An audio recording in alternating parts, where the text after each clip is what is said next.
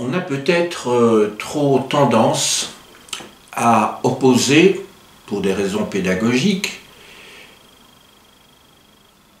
deux penseurs très très importants du XVIIe siècle anglais, à savoir d'une part Thomas Hobbes et d'autre part John Locke. Quand je dis qu'on les oppose, c'est qu'il y a bien des raisons de les opposer. Mais on les oppose parfois d'une manière un petit peu caricaturale. En oubliant qu'ils ont vécu non pas à la même génération, à la même époque, il y a quand même près de deux générations entre ces deux penseurs, mais en tout cas à une époque euh, extrêmement troublée et qu'ils essayent de trouver des remèdes à des problèmes communs. Dans la seconde moitié du XVIIe siècle, du XVIe siècle, en France, au moment des guerres de religion, il y avait eu euh, une série de traités sur euh, le gouvernement de la France.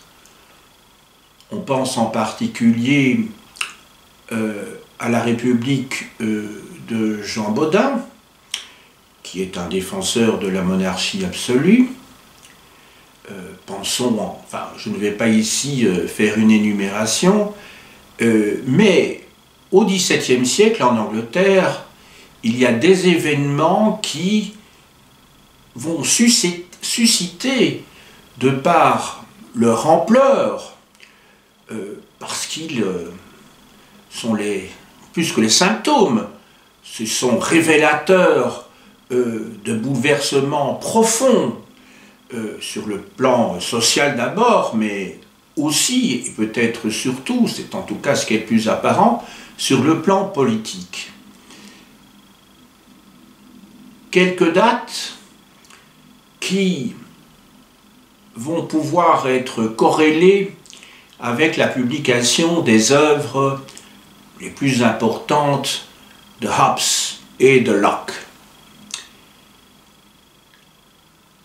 1642, c'est le début de la guerre civile.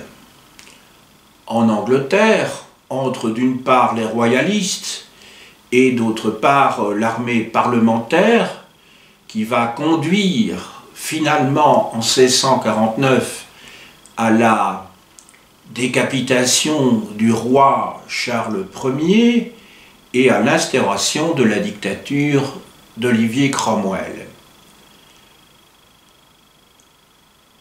Il se fait, et ce n'est évidemment pas le résultat d'un hasard, que le De c'est-à-dire euh, à propos du citoyen de Hobbes, paraît en 1642, et que d'autre part, son ouvrage encore plus célèbre, le Léviathan, date de 1651. Plus tard, en 1690, John Locke va publier son célèbre ouvrage euh, sur le gouvernement. Il va dès lors entériner sur le plan théorique la révolution de 1688, la glorieuse révolution, et euh, d'autre part, un an plus tard, la Déclaration des droits, le Bill of Rights. Il y a, évidemment, ce n'est pas le résultat du hasard, un lien étroit entre, d'une part, la publication de ces livres et, d'autre part, les événements qui affectent euh, l'Angleterre à cette époque. Mais qui était donc euh, Thomas Hobbes? Il est né en 1588.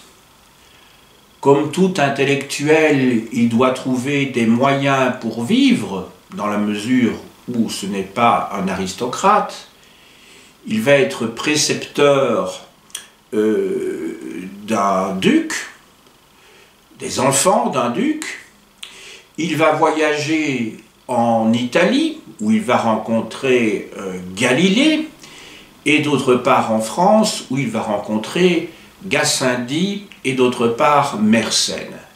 Ces rencontres seront essentielles, comme on va le voir dans l'élaboration de sa philosophie politique.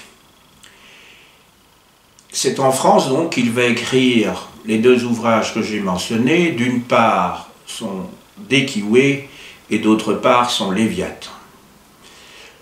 On peut définir la philosophie de Thomas Hobbes comme une philosophie à la fois matérialiste et pratique. Matérialiste tout d'abord. Sa vision de la société est étroitement liée à sa conception de l'univers. Dans les deux cas, il s'agit d'une physique reposant sur euh, des lois naturelles et on peut dire que la physique naturelle euh, qui est la sienne, qu'il adopte d'autres penseurs, euh, va être le modèle, et il ne faudrait pas y voir une métaphore dans le cas de la seconde, de sa physique sociale. En effet, pour lui, dans l'univers, comme dans la société, c'est un mécanisme, c'est une philosophie mécanisme qui régit l'organisation euh, du monde. Il est euh, atomiste et il considère que tant le monde que la société sont organisés sur base de lois euh, générales qui ont une tendance naturelle, euh, comment dirais-je, dans l'expression euh, de leur force, à euh, s'imposer. Je dis bien que la société, comme l'univers, est donc bien régie par des rapports de force qui doivent s'exprimer qui doivent s'exprimer pour conduire soit à un équilibre, et c'est ce que va rechercher euh, dans euh, son euh, traité, dans ses traités Thomas Hobbes, quant à l'organisation sociale, et pour Thomas Hobbes, je le répète, son anthropologie est donc bien plus qu'une métaphore de l'organisation du monde physique, c'est-à-dire du monde naturel, puisque vous savez, en grec, fusil signifie la nature. Autrement dit, l'individu dans la société est un atome, et je dirais même que c'est une redondance euh, que de dire que l'individu est un atome, puisqu'étymologiquement les deux mots signifient exactement la même chose dans deux langues différentes. Un, puisque individu vient de euh, dividere, en latin qui veut dire diviser, donc un individu c'est ce qui ne se divise pas, qui forme un tout, et euh, d'autre part un atome, bah, évidemment, hein, le A et puis Thomas derrière, c'est ce qui ne se sépare pas que l'on ne peut pas séparer, ce qui est insécable, littéralement. Autrement dit, l'atome qui est euh, perçu par Thomas Hobbes comme un ensemble fonctionnel, euh, basé sur des principes de pression, euh, avec d'une part des forces qui peuvent être contraires, bien entendu, euh, qui suscitent des résistances, euh, conduisent donc à des équilibres instables qui tentent soit euh, de s'apaiser, et là on est dans le social, soit qui conduisent à des explosions. Et là, on est à la fois dans le domaine, je dirais, nucléaire et dans le domaine physique, donc, et dans le domaine de l'organisation euh, sociale. Euh, ce que Thomas Hobbes appelle le Léviathan, ce n'est pas parce qu'on entend parfois, euh, quand des choses sont dites un petit peu rapidement, le Léviathan, ce n'est pas un personnage qui, de manière tyrannique, impose ses vues sa volonté, ses lois à la société. Je dis bien, ce n'est pas un individu, ce n'est pas une personne. Euh, le Léviathan, c'est un mot qui vient de, la Bible, c'est un géant. Alors là, on peut parler de métaphore, si vous voulez, parce qu'il s'agit d'un géant qui est euh, l'image euh, d'une multitude d'hommes qui euh, euh, serait dans cet immense géant et qui ne pourrait être pacifié pour que cet organisme vivant, celui du géant, puisse vivre que par une autorité suprême. Mais que les choses soient claires, il s'agit bien ici d'une métaphore, donc le Léviathan, ce n'est pas une personne c'est une multitude de personnes qui, pour faire société, doivent s'entendre d'une manière ou d'une autre. Alors là, évidemment, euh, ce n'est pas la même option que va défendre euh, John euh, Locke, comme on va le voir un petit peu plus tard. sauf que ici, il faut, comment dirais-je, une autorité suprême qui doit toutefois être régi par la raison. Autrement dit, il ne s'agit pas d'un tyran fou ou même d'une assemblée folle, parce que pour Thomas Hobbes, euh, il faut que cette société soit dirigée éventuellement par un homme, mais ça peut être tout aussi bien une assemblée ce qui n'est pas tout aussi, euh, beaucoup plus réjouissant, puisque dans les deux cas, n'oubliez pas quand même qu'à cette époque-là, le suffrage universel n'existe pas, et qu'il ne faut donc pas projeter sur Thomas Hobbes, comme sur John Locke, euh, des, euh, comment dirais-je, des considérations actuelles à une époque où elles n'étaient pas imaginables et donc réalisables. Elles n'appartenaient pas, pour utiliser le mot de Lucien Fèvre, euh, c'était des catégories qui n'appartenaient pas à l'outillage mental euh, des hommes euh, de cette époque.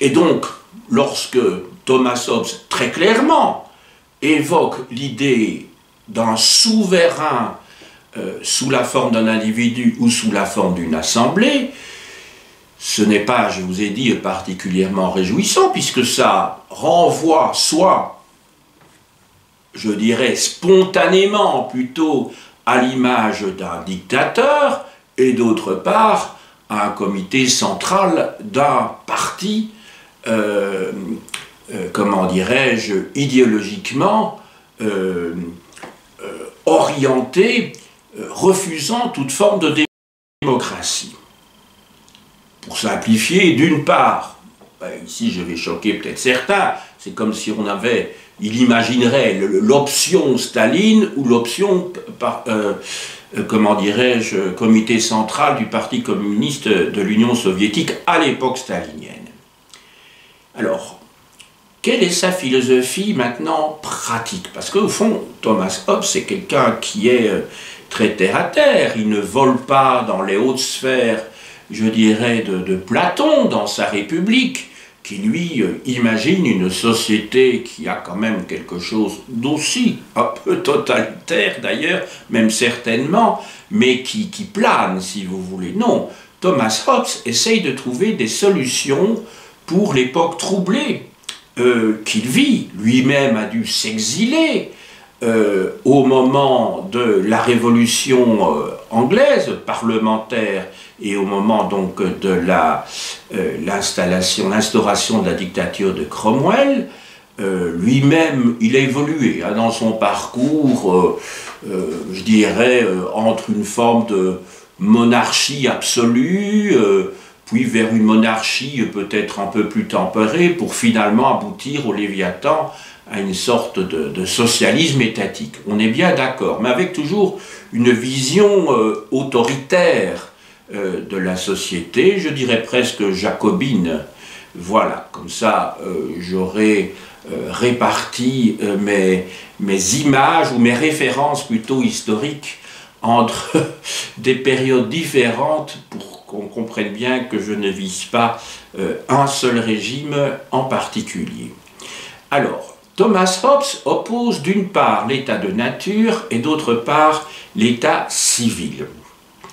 L'état de nature, c'est donc la situation des individus euh, qui vivent ensemble euh, à l'état, je dirais, euh, primitif, qui effectivement sont libres, mais comme ils ne sont pas régis par des lois communes, ils doivent se protéger eux-mêmes sans qu'il y ait un référent, si je puis dire, qui détient l'autorité, ils sont donc en défiance les uns vis-à-vis des autres, et euh, par conséquent, euh, il y a un danger, pas seulement pour les individus, mais un véritable danger universel qui ne se fasse constamment la guerre, et que cela puisse donc conduire à la destruction même de la société si tout le monde est l'ennemi de son voisin. C'est euh, le fameux adage que tout le monde connaît, euh, de Thomas Hobbes. Euh, donc l'homme est un loup pour l'homme, homo homini lupus. Hein, homini ici est un datif. Donc, hein. Voilà. Et donc, on est donc. Alors c'est pour ça que quand on pense à John Locke, on pense à sa postérité au moment de la Révolution américaine et à l'inspiration de euh, comment dirais-je, la Constitution américaine euh, par les idées euh, de John Locke, et on a tout à fait raison, mais enfin, cette idée de défiance des individus les uns vis-à-vis des autres, et les images que donne Thomas Hobbes renvoient un petit peu quand même à cette société américaine où l'on trouve des millions, voire des dizaines de millions euh, euh, d'armes euh, létales, donc en circulation dans la population, pour défendre sa personne, et voire pour défendre sa propriété privée. Donc là aussi, il ne faudrait pas avoir une, vie, une vision un peu trop tranchée entre Hobbes et Locke, euh, ils sont, eux, les inspirateurs, tous les deux, d'une certaine manière, euh, de notre monde contemporain et même euh, de sociétés dans lesquelles on retrouve les deux principes. Notre époque en est bien l'exemple, puisque nos gouvernements dérivent de plus en plus pas au même degré évidemment euh, suivant les régions du monde, mais vers euh, des gouvernements, euh, des, des, théories politiques de type Hobbesien, Hobbesien plutôt, oui c'est pas facile à dire, Hobbesien, oui Hobbesien, donc Hobbesien. Évidemment je vais donner des, exemples qui n'ont que pour objectif euh, d'évoquer, mais sans plus, hein, euh, une radicalisation vers cet euh, idéal, si je puis dire, si on peut parler d'idéal, en tout cas vers cette option optienne, penser au gouvernement de, Poutine, mais c'est un système parmi bien d'autres, dont l'idéologie repose sur la sécurité des individus, lui-même se considérant comme le seul recours pour éviter le chaos, mais aussi quand vous pensez à la société française, mais évidemment pas, le contexte est différent, là il s'agit d'un système parlementaire qui a du sens, en Russie c'est aussi un système parlementaire, mais où à part le, le parti de Poutine lui-même, les autres partis sont là pour faire essentiellement de la figuration, ce qui n'est pas le cas en France, mais où quand même de plus en plus, on le voit bien,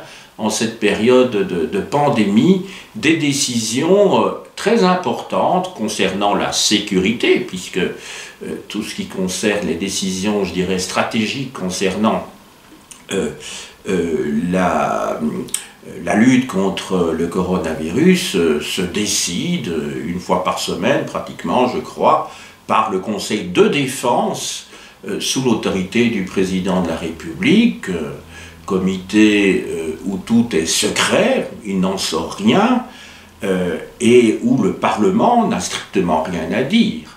Donc euh, si je prends cet exemple-là, c'est pour vous indiquer que dans des périodes qui sont particulièrement chaudes, eh bien, il peut y avoir donc des dérives, y compris dans les systèmes démocratiques, euh, penser évidemment à cet événement qui nous paraît complètement euh, euh, fou a posteriori, c'est qu'en juin-juillet 1940, la, grande majorité des parlementaires français ont donné les pleins pouvoirs au maréchal Pétain, donc il est arrivé démocratiquement à la dictature. Voilà, je ferme la parenthèse, mais c'est pour vous dire que Hobbes vit à une époque, et donc on ne peut jamais détacher les penseurs de l'époque dans laquelle ils vivent, dont Hobbes vit à une époque euh, qui est particulièrement euh, perturbée sur le plan politique et sur euh,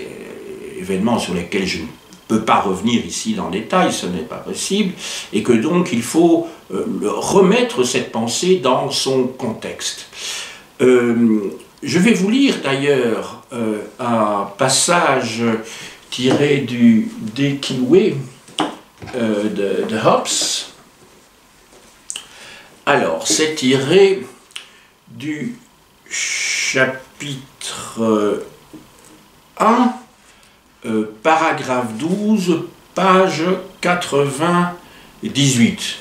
Donc, évidemment, hein, quand, on, quand on travaille sur des, auteurs comme celle-là, il faut bien sûr se référer au texte. J'utilise ici euh, l'édition en traduction française, puisque le texte originel écrit en France est écrit en latin, il s'appelait le De comme je vous l'ai déjà dit, euh, Le citoyen ou les fondements de la République de Thomas Hobbes.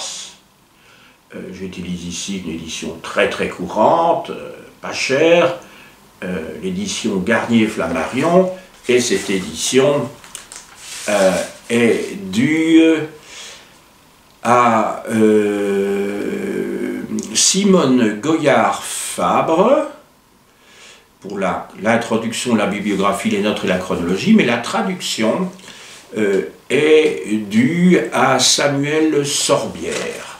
Voici donc le paragraphe 12 du chapitre 1. Si vous ajoutez à cette inclination naturelle que les hommes ont de se nuire les uns aux autres, et qui dérive peut-être de cette vaine opinion qu'ils ont d'eux-mêmes, ce droit de chacun sur toute chose, suivant lequel, comme il est permis d'envahir, on peut aussi légitimement se défendre, et d'où naissent des soupçons et des défiances continuelles qui ne laisseront jamais l'esprit en repos, étant très difficiles pour si bien qu'on se tienne sur des gardes, qu'enfin on ne soit opprimé, opprimé par la ruse ou par la violence d'un ennemi qui tâche sans cesse de nous surprendre. Euh, voici donc comment Thomas Hobbes décrit l'état de nature, état de nature qui est insupportable pour euh, la survie d'une société et il faut donc essayer de trouver euh, un remède pour que cet état de, tuerie, le cas échéant, échéant entre les citoyens, c'est pour ça que je faisais référence à la société américaine, puisse, ne puisse pas euh, comment dirais-je, conduire à une destruction de la société euh, elle-même. Alors l'état civil euh, est donc indispensable. Passer de l'état de nature à l'état civil, ça veut dire passer de cette, de cette vision atomiste où les atomes tournent fous, chacun indépendamment les uns des autres, puisque ce sont des individus, hein, euh, qui ont euh, leur, euh, comment dirais-je, qui défendent leur intérêt propre, et pour passer justement à une société où il soit possible d'avoir un vivre ensemble, pour utiliser un mot actuel. Il faut donc concentrer les forces, selon Hobbes, en un point unique du principe d'organisation. Afin que ces forces s'équilibrent, il faut qu'il y ait un souverain qui garantisse donc cet équilibre. Je rappelle ici que le terme souverain n'est pas synonyme d'une personne. Hein. Euh, quand en Belgique, puisque je vis dans un royaume, euh, on parle du roi Philippe actuel lorsqu'il est en visite comme du souverain, c'est évidemment un abus de langage. Il n'est pas souverain. En Belgique, c'est le peuple qui est souverain, bien sûr. Donc souverain peut s'appliquer effectivement à une assemblée non seulement euh, élue, mais aussi à l'ensemble du peuple. Ici, euh, Hobbes, par contre, ne reprend pas la dernière hypothèse, il ne prend que l'hypothèse d'un homme ou d'une assemblée. Euh, voici euh, ce qu'il dit à ce sujet.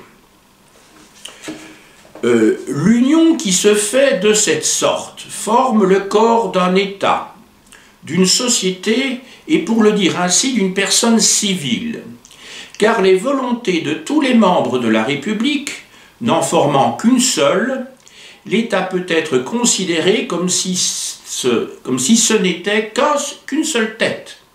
Aussi a-t-on coutume de lui donner un nom propre et de séparer ses intérêts de ceux des particuliers, de sorte que ni un seul citoyen, ni tous ensemble, si vous en notez celui duquel la volonté représente celle de tous les autres, ne doivent pas être pris pour le corps d'une ville. Je dirais donc pour définir l'état d'une ville, ce qui servira pour toutes les autres formes de gouvernement et de société civile, que c'est une personne dont la volonté doit être tenue suivant l'accord qui en a été fait pour la volonté de tous les particuliers, et qui peut se servir de leurs forces et de leurs moyens pour le bien de la paix et pour la défense commune. Euh, nous nous trouvons ici, toujours dans la même édition, euh, alors, euh, c'est quel... alors, c'est le chapitre 5, paragraphe 9, page 144 et 145.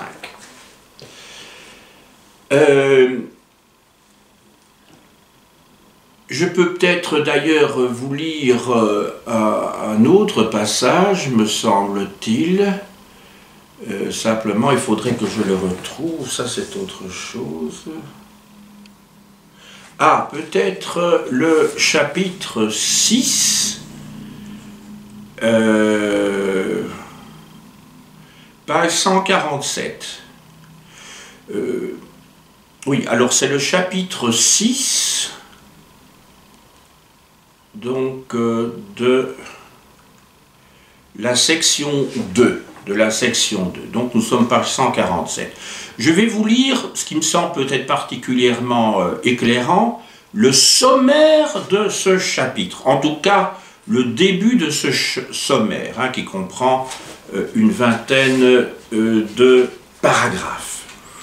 Alors, paragraphe 1 qu'on ne peut attribuer aucun droit à la multitude hors de la société civile, ni lui imputer aucune des actions à laquelle chacun de ceux qui la composent n'a point prêté un particulier consentement. 2. Que le droit que le plus grand nombre a de contraindre le moindre, qui n'est pas de son avis, est ce qui donne le premier commencement aux sociétés civiles. 3 que chaque particulier retient le droit de se défendre à sa fantaisie, tandis qu'on n'a pas pourvu à la sûreté. 4. Que la puissance de contrainte est nécessaire pour la sûreté des particuliers. Donc vous avez bien entendu, la puissance de contrainte. Ce que c'est que l'épée de justice. 6. Que l'épée de justice est entre les mains de celui qui a la puissance souveraine. 7 que le même tient en sa main l'épée de guerre. 8. Que le même doit être le souverain juge.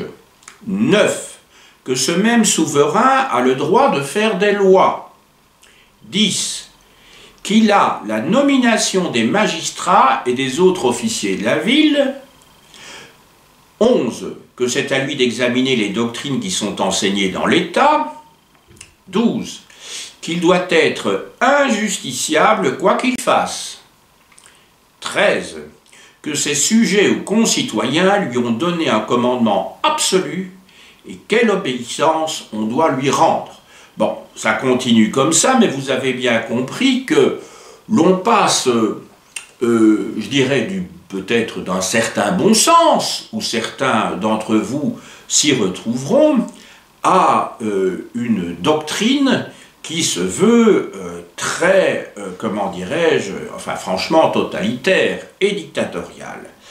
Voilà, donc il faut, ici, c'est pour ça qu'il faut lire les textes dans leur totalité, parce que quand on prend que des extraits comme ça, coupés du reste d'un raisonnement, on a tendance à tirer la couverture dans un sens ou dans l'autre, et c'est ce que j'essaye de vous montrer à propos de Hobbes et d'autre part euh, de euh, John euh, Locke. Alors, maintenant, on voit, on l'a vu plus exactement, à partir du raisonnement du citoyen, donc le livre d'où j'ai tiré un certain, trois extraits depuis tout à l'heure, on voit en fait que ce souverain euh, doit être compris non pas comme un individu, mais comme une assemblée, mais que c'est une assemblée qui euh, s'impose, plus exactement, plutôt qui impose à l'ensemble de la population un certain nombre de contraintes, parce que aux yeux de Hobbes, sans contrainte, une société ne peut pas euh, fonctionner. le souverain est donc une garantie de sécurité de chacun et de sécurité également de la propriété. Euh, il y a deux termes essentiels ici, enfin qui interviennent dans le raisonnement de Hobbes, c'est la sécurité et la propriété. Donc vous voyez que les bases euh, du raisonnement euh, de Thomas Hobbes sont au fond euh, pas très différents de ce qu'on va voir chez Locke et qui est à la base, je dirais, de l'organisation de l'État moderne.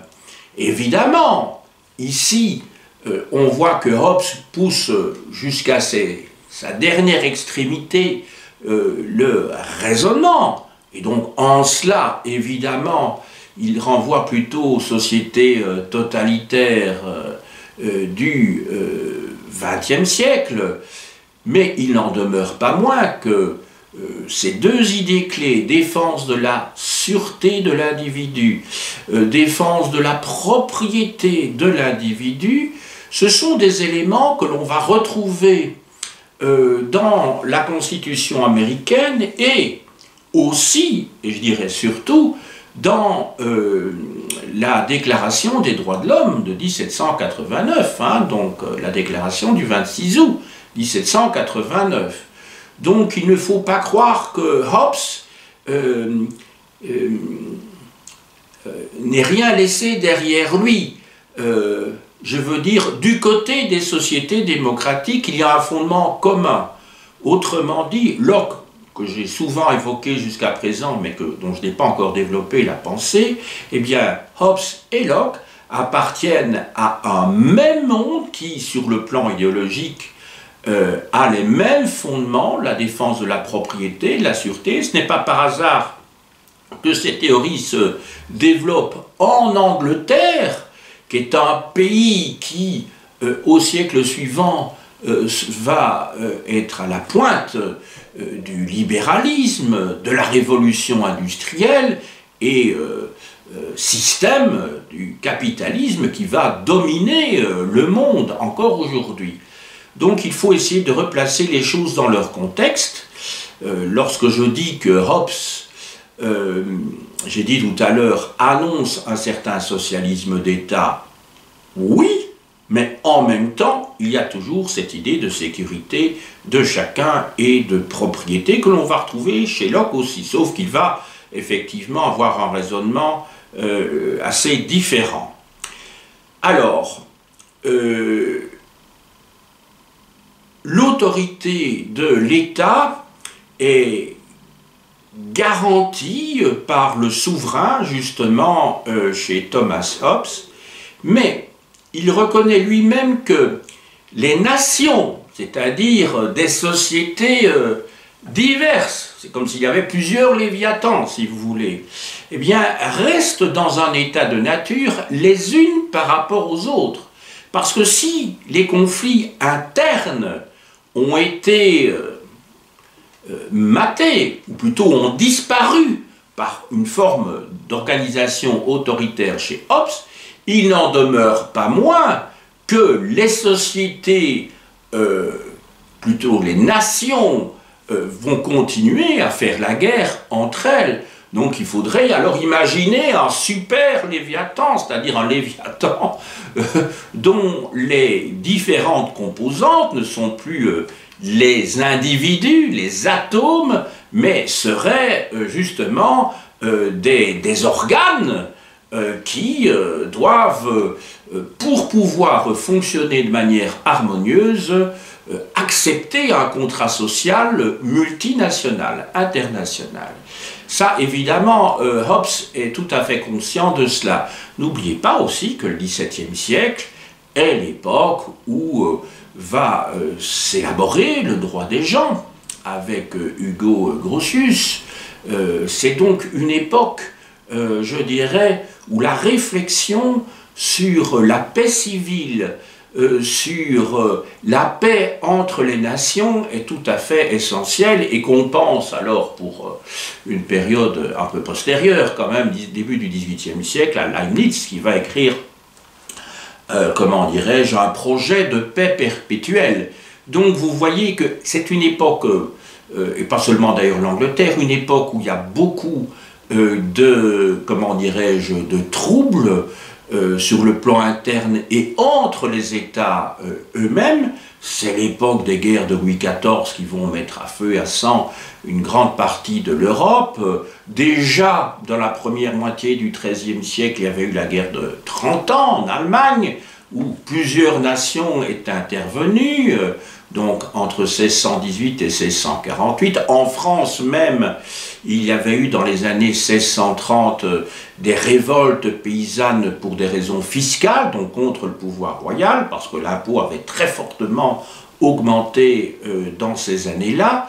Et donc c'est une période, alors pourquoi troubler? Oui, il va y avoir la fronde aussi, évidemment, au milieu euh, du XVIIe siècle. Pourquoi? Parce qu'en fait, c'est une époque clé Hein. Euh, si vous voyez d'ailleurs les, manuels d'histoire marxiste qui sont euh, évidemment plus du tout euh, en usage aujourd'hui, le, milieu du XVIIe siècle constituait, ou le XVIIe siècle constituait vraiment la césure, si je puis dire, entre l'époque dite féodale et d'autre part l'époque moderne. On peut dire que le XVIIe siècle connaît un, un véritable, à des moments différents, bien entendu, avec des intensités différentes, de véritables euh, séismes au sein même des sociétés, et les penseurs ne font eux-mêmes que refléter les préoccupations euh, de tout un chacun des populations et bien sûr euh, des dirigeants à cette époque-là. Quelle solution trouver face aux, guerres civiles et face aux, aux, conflits internationaux Eh bien, c'est donc dans cette ligne-là que très clairement Hobbes et d'autre part Locke s'inscrivent. Euh, je ne vous ai pas euh, lu ici les, passages importants dont j'avais l'intention, que j'avais l'intention euh, de, de, lire ici du Léviathan de Thomas Hobbes. J'ai utilisé en fait l'édition pour préparer ce cours de, de John Playmetz, Playmenetz, excusez-moi, euh, chez euh, Collins, dans la euh, collection The Fontana Library, Philosophy, Philosophy et vous pouvez, pour approfondir en tout cas les deux derniers aspects que j'ai évoqués, lire la partie 1, chapitre 4, 14 plutôt, qui couvre les pages 145 à 155. Euh, voilà, et d'autre part,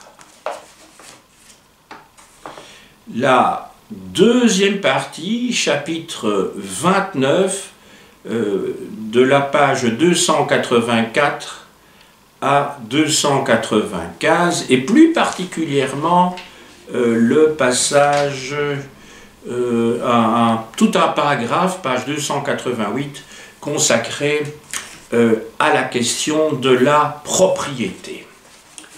Voilà, donc je vous remontre cette édition. Nous allons passer maintenant à euh, John Locke.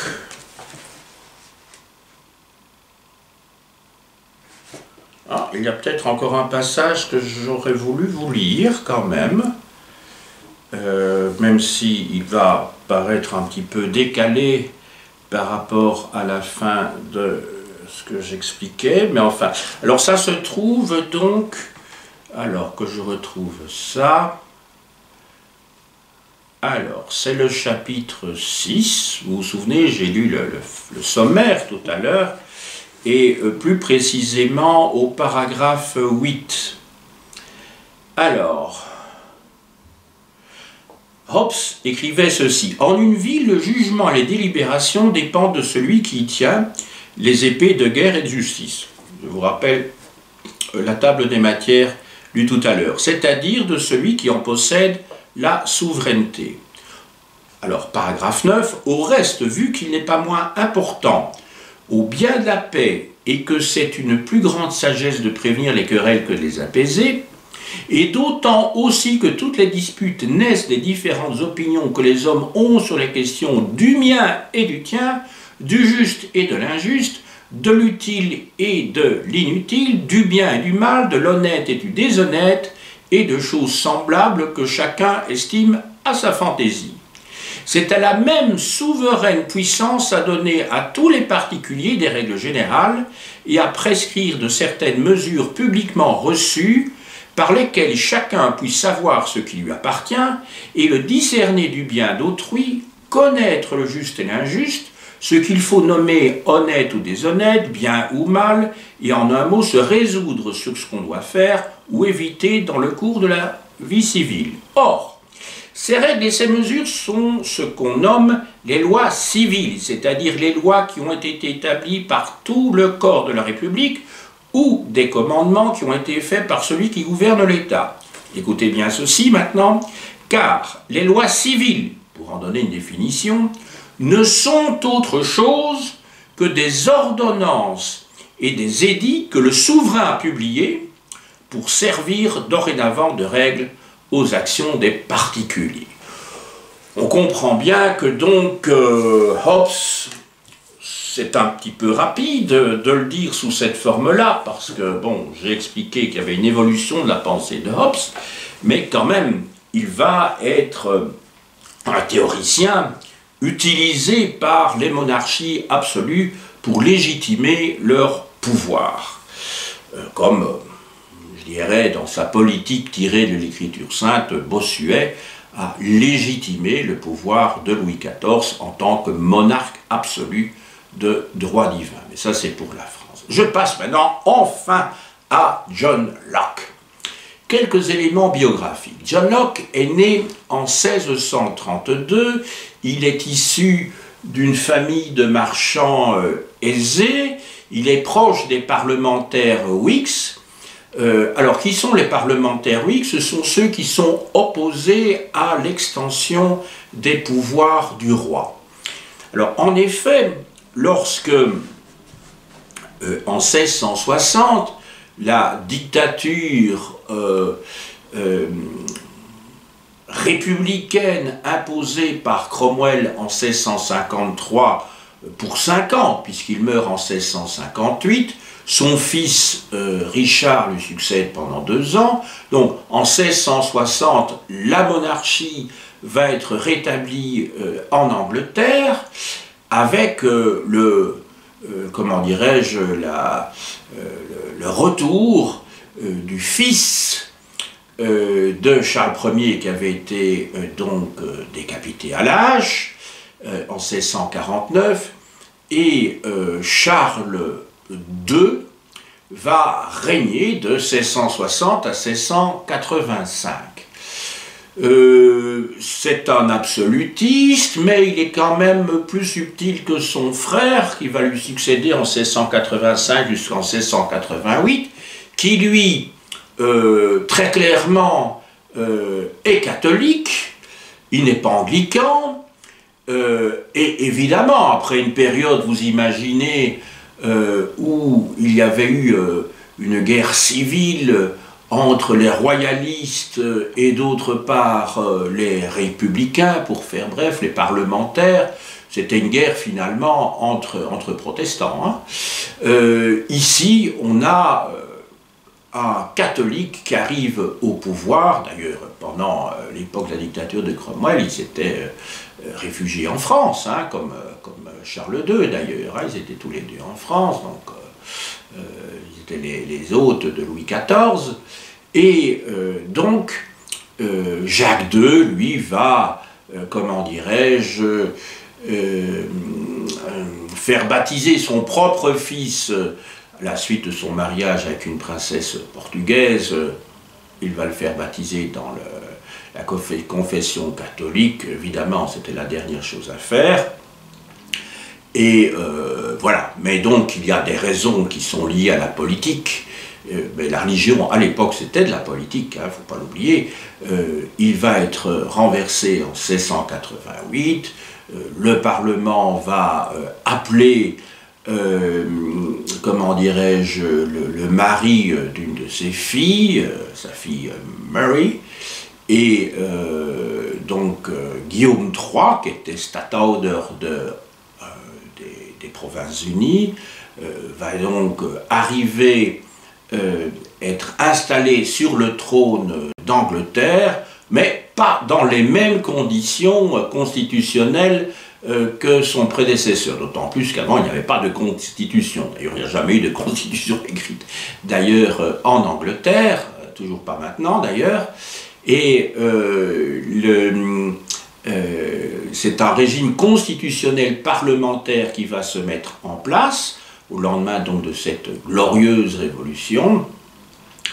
Et euh, dans le Bill of Rights, euh, promulgué l'année suivante par le Parlement, euh, les rôles du roi, des parlementaires, du régime tout simplement politique vont être clairement définis et dorénavant les ministres seront responsables devant le Parlement et non plus devant le, roi, comme c'était le cas précédemment dans le cas de la monarchie absolue de droit divin.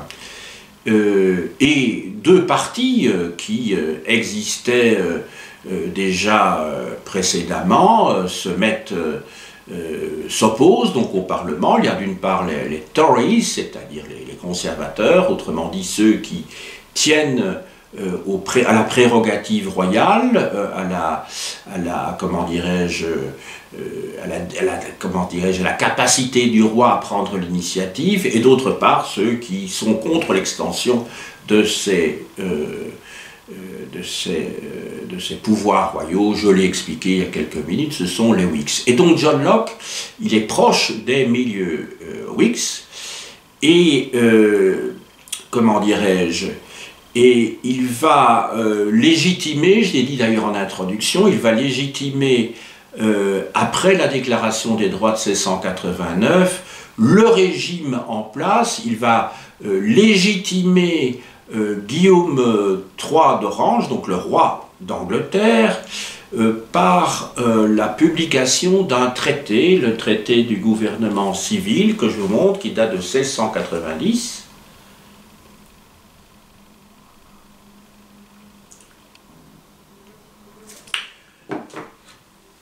Euh, John Locke, pour pouvoir aborder sa théorie, sa philosophie politique, doit d'abord être perçu euh, quant à euh, sa philosophie, quant à sa psychologie, la manière dont il pense, je dirais, euh, l'organisation de nos idées.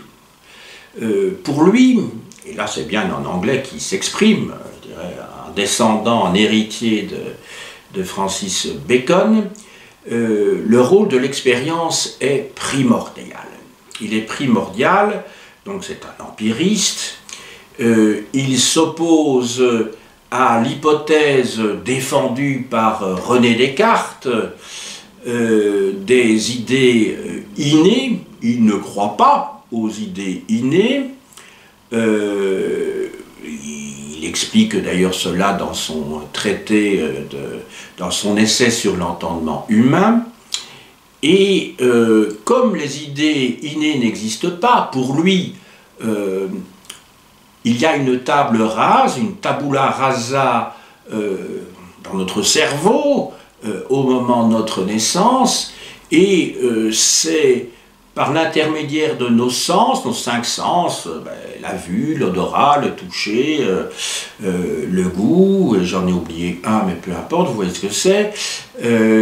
donc c'est grâce à Louis, voilà, grâce au sens que l'être humain se forge, ou plutôt c'est à ce moment-là, par l'intermédiaire des sens, que les idées se forment. Idées simples, tout d'abord, euh, sur lesquelles peuvent se greffer des idées euh, complexes qui ne résultent en fait que de la combinaison euh, d'idées simples entre elles.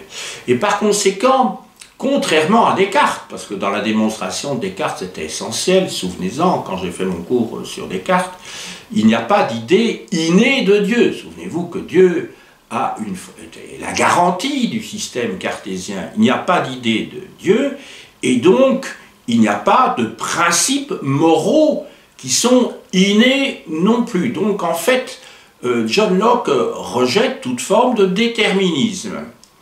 Alors pour lui, comment pense-t-il les fondements euh, du pouvoir politique?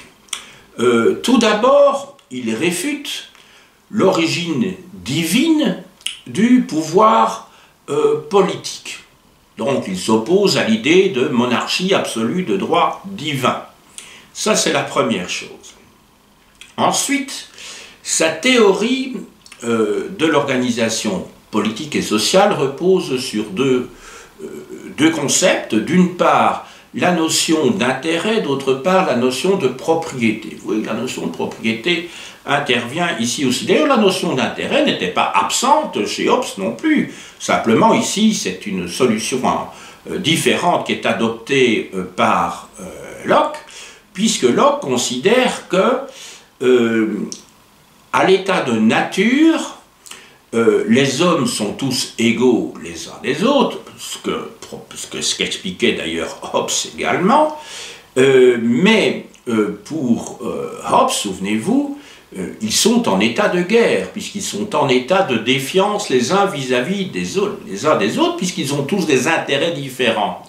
Et qu'à un moment donné, chez Hobbes, il faut trouver une solution, et cette solution, c'est ce souverain qui se trouvent donc au-dessus des individus et qui leur permettent en édictant des lois communes pour tous, de vivre, éviter donc l'explosion, l'effritement de la société. Alors que pour John Locke, les hommes à l'état de nature, oui, sont des égaux, euh, ils ont un intérêt euh, qui est particulier, certes, mais il faut, ils ont conscience qu'il est indispensable d'avoir conscience, et c'est là que la raison intervient, euh, que dans la vie, tout est donnant-donnant. Il y a un deal. Et qu'il faut donc, l'être humain comprend qu'il y a des lois de réciprocité nécessaire justement pour la vie en commun. Donc il a une vision optimiste, alors que Hobbes avait une vision plutôt pessimiste de l'être humain.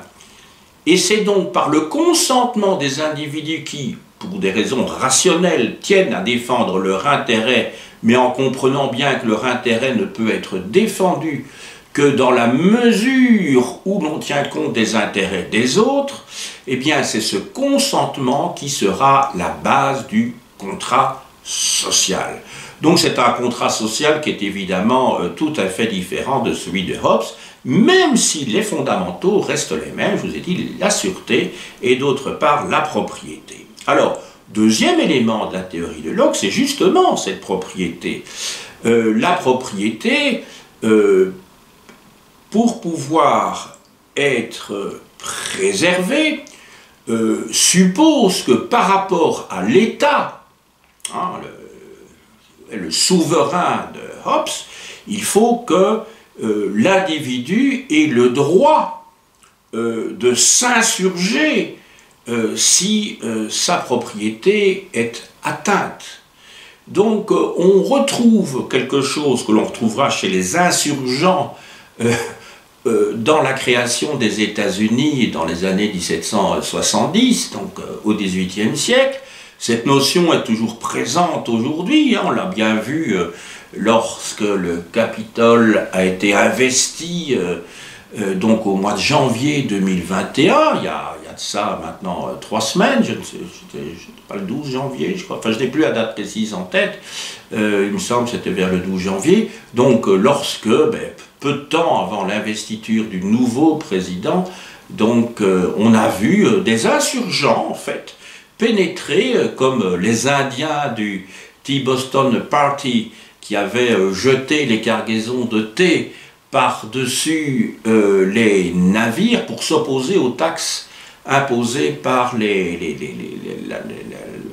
les colons britanniques, par la, par, euh, je dirais, la, puissance britannique euh, donc, euh, donc dans les colonies britanniques du nord-est de l'Amérique du Nord. Et donc, le droit à l'insurrection va se retrouver plus tard dans l'idéologie américaine, et on va retrouver d'ailleurs cette idée d'insurrection aussi dans la Déclaration des droits de l'homme. Hein. Euh, euh, la, Déclaration des droits de l'homme prévoit l'insurrection s'il y a oppression euh, du, pouvoir civil. Donc c'est inscrit, et d'ailleurs c'est pas pour rien que un certain nombre de gilets jaunes ont fait état de cette déclaration des droits de l'homme euh, il y a maintenant de cela euh, un an et demi. Voilà. Un peu plus d'un an en tout cas, avant, avant le Covid. Hein. c'était l'année qui précédait, donc c'était 2019. Euh, je vais vous lire ici deux extraits tirés du traité du gouvernement civil de John Locke. D'une part, le chapitre... alors ici, ça va être tiré du chapitre Attendez, il faut que je m'y retrouve un petit peu dans mes références. On va d'abord partir du chapitre 2. Ça, c'est pour la notion d'intérêt. Euh, paragraphe 4 et 5, euh, page 173-174 dans mon édition. Pour bien entendre en quoi consiste le pouvoir politique et connaître sa véritable origine, il faut considérer dans quel état tous les hommes sont naturellement. C'est dans cet un état de parfaite liberté, un état dans lequel, sans demander la permission à personne et sans dépendre de la volonté d'aucun autre homme, ils peuvent faire ce qui leur plaît et disposer de ce qu'ils possèdent et de leur personne comme ils jugent à propos pourvu qu'ils se tiennent dans les bornes de la loi de la nature. Donc vous voyez qu'il y a quand même des limites aussi hein, chez Locke. Ce n'est pas un anarchiste, loin de là. Cet état est aussi un état d'égalité, en sorte que tout pouvoir et toute juridiction réciproque, un homme n'en ayant pas plus qu'un autre. Car il est évident que des créatures d'une même espèce et d'un même ordre, qui sont nées sans distinction, qui ont part aux mêmes avantages de la nature, qui ont les mêmes facultés, doivent pareillement être égales entre elles, sans nulle subordination ou suggestion.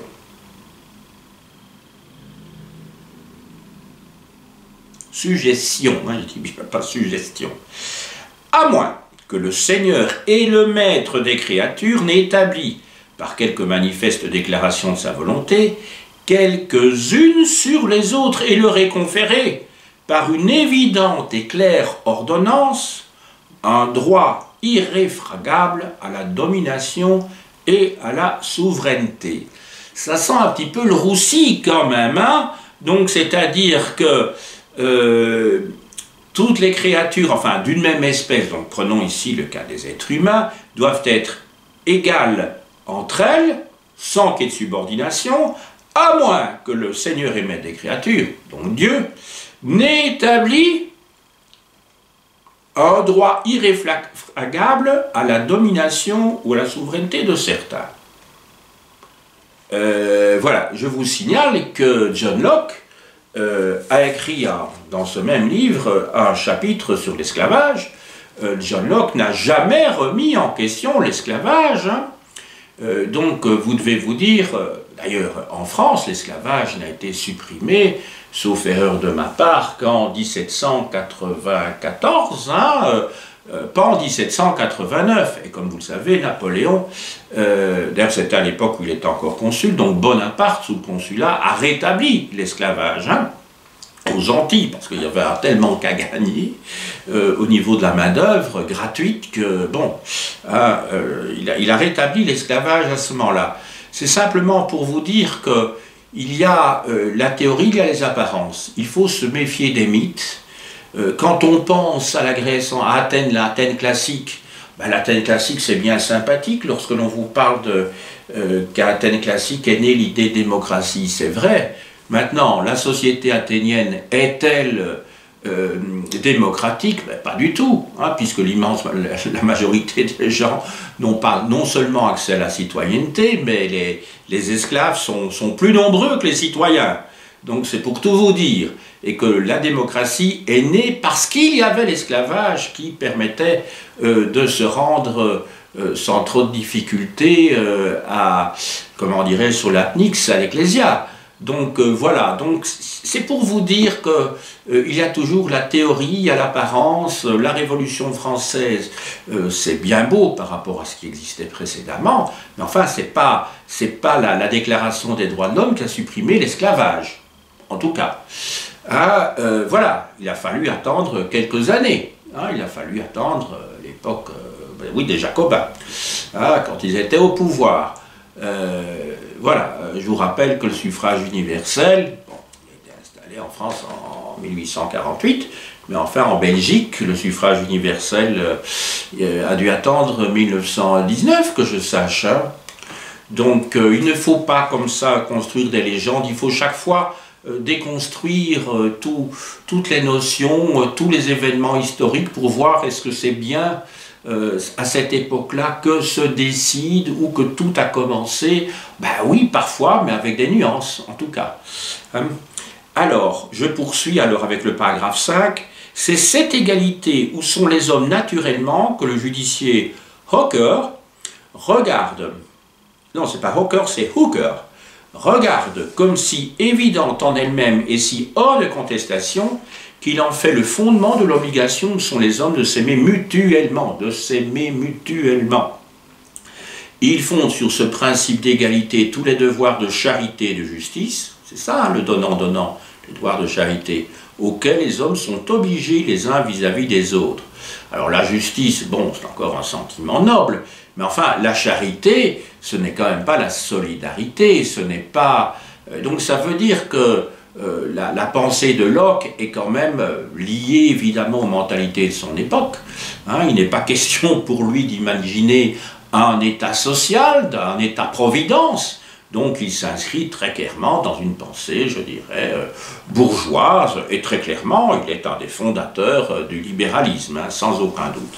Alors je voulais vous lire un deuxième extrait, alors, euh, qui se trouve donc au paragraphe 232. Alors c'est les chapitres 19 des pages 358, 358 à 359. Euh, voilà.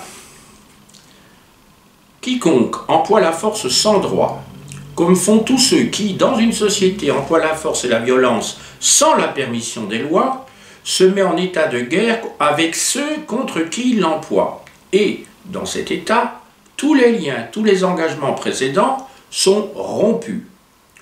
Tout autre droit cesse, hors le droit de se défendre et de résister à un agresseur. Cela est si évident que Barclay lui-même, qui est un grand défenseur du pouvoir sacré des rois, est contraint de confesser que les peuples, dans ces sortes de cas, peuvent légitimement résister à leur roi, peuvent légitimement résister à leur roi. Il ne fait point difficulté d'en tomber d'accord dans ce chapitre même, où il prétend montrer que les lois divines sont contraires à toutes sortes de rébellions. Il paraît donc manifestement, par sa propre doctrine, que puisque dans certains cas on a droit de résister, de s'opposer à un prince, toute résistance n'est pas rébellion. Voilà. Alors là, vous voyez que euh, ceci est quand même, euh, je dirais, un passage qui nous informe alors je ne dis pas que c'est là-dessus que se sont basés les, insurgents, ou plus exactement, je n'en sais rien, euh, en, 1773 et suivante, au moment de la, de la guerre euh, d'indépendance, hein, qui est une guerre nationale, hein, ce n'est pas une guerre sociale du tout, que ce que la, révolution américaine. Hein. voilà, c'est une guerre de petits propriétaires derrière. voilà. voilà. Alors, j'avais encore noté une autre référence, mais je voudrais simplement savoir pourquoi je l'ai notée parce que là, je ne sais plus pourquoi. J'ai noté qu'il y avait encore la page 172, article 3.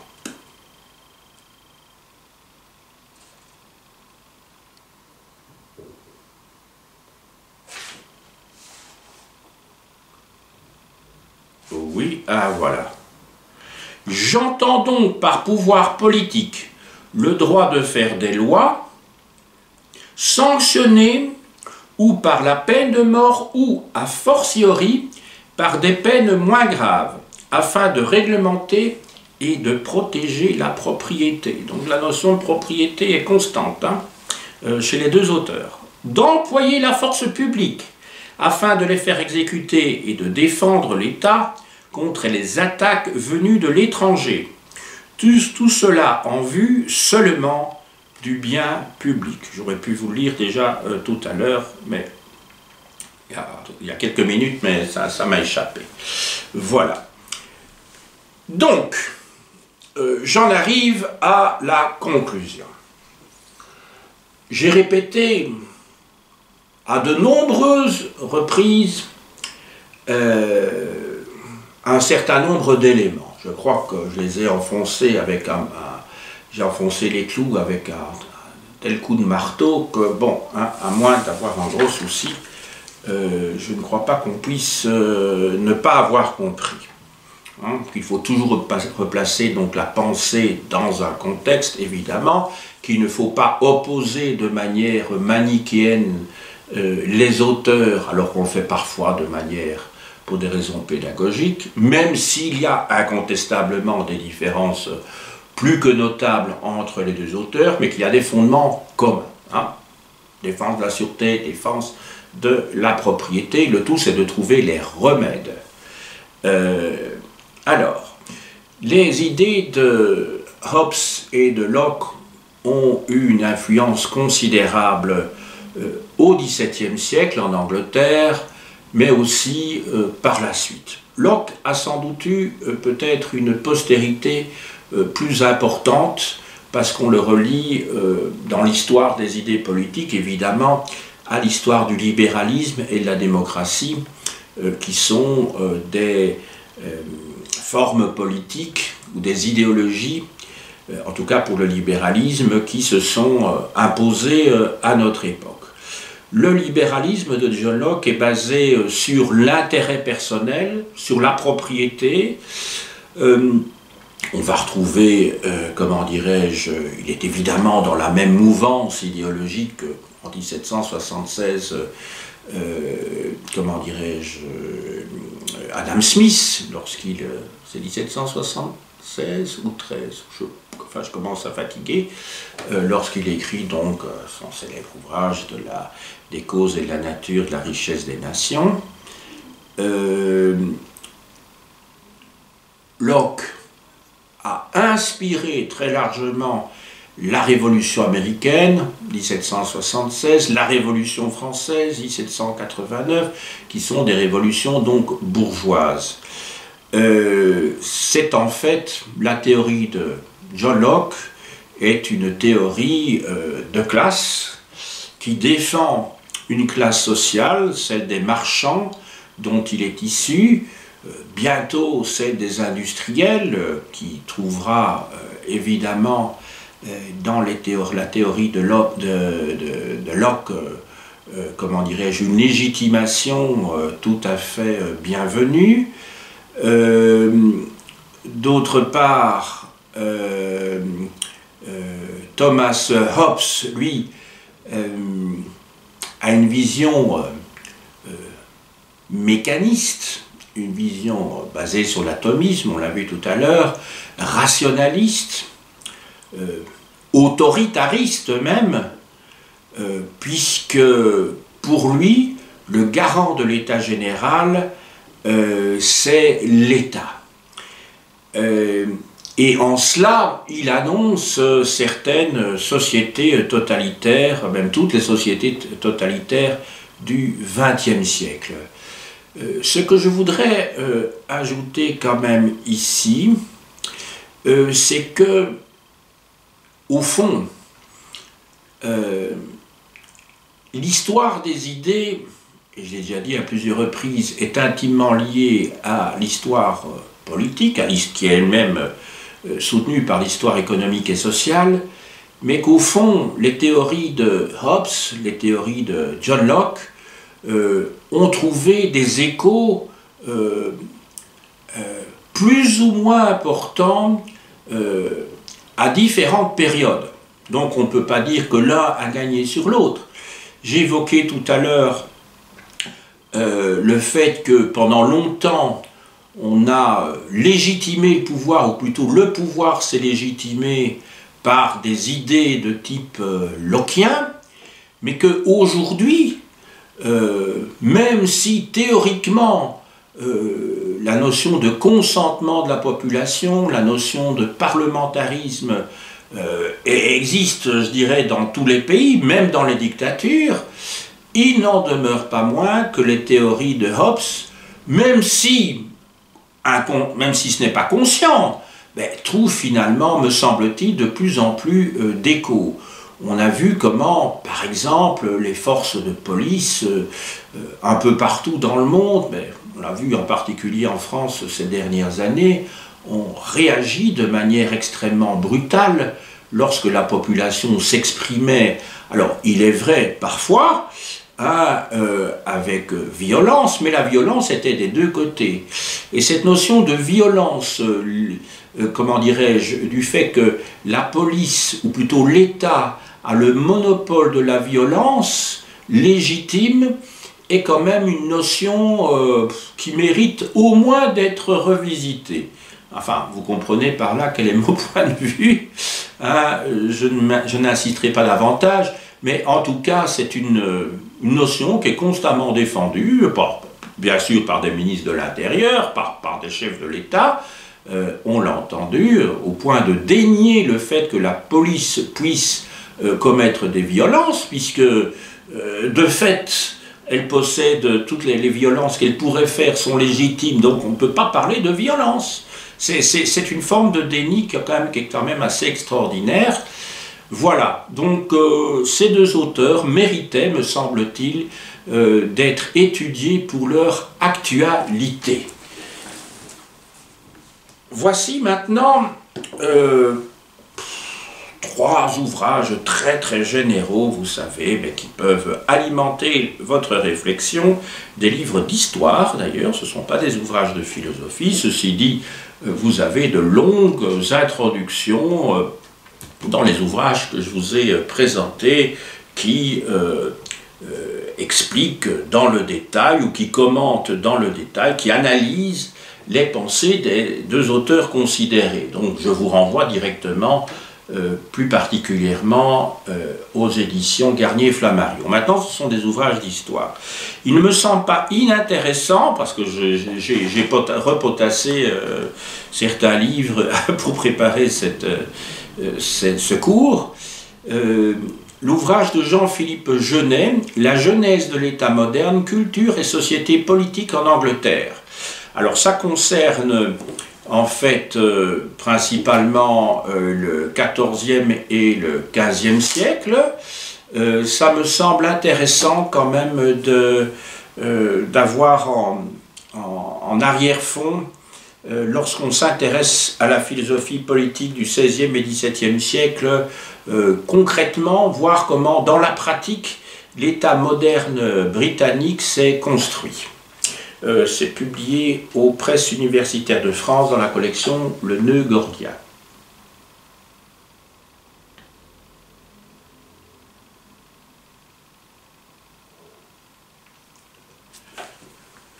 Alors c'est une approche d'ailleurs qui est très novatrice, hein. euh, par, euh, comment dirais-je, l'intérêt pour des disciplines, pour des sciences humaines qui, servent dès lors euh, plus que de sciences auxiliaires de l'histoire.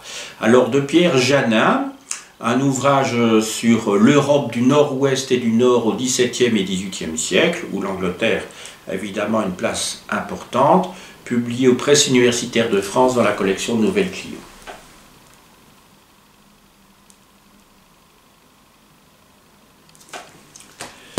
Et enfin, du grand euh, historien britannique euh, Lawrence Stone, Les causes de la Révolution anglaise, donc du XVIIe siècle, publié euh, chez Flammarion dans la collection L'histoire vivante.